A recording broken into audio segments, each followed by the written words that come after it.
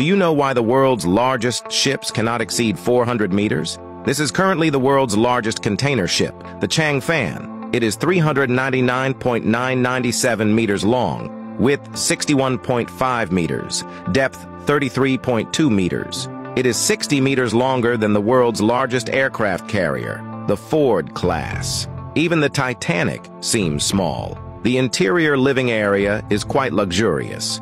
Equipped with various facilities, it can simultaneously carry 23,192 standard containers. The deck area is 24,000 square meters, equivalent to three and a half standard football fields. Can stack up to 24 layers of containers, equivalent to the height of a 22-story building. With current technology, it is also quite easy to build larger ships, so why not build ships over 400 meters? According to the regulations of the Suez Canal, ships over 400 meters must go through a special approval process. This approval process is very cumbersome, and it will delay a lot of time. In addition, since the cargo is mainly placed in the middle of the ship, if the ship is too long, it will easily cause an overload in the middle of the ship's body, leading to safety hazards. Therefore, longer ships are not necessarily better. Keeping the length within 400 meters is the best choice.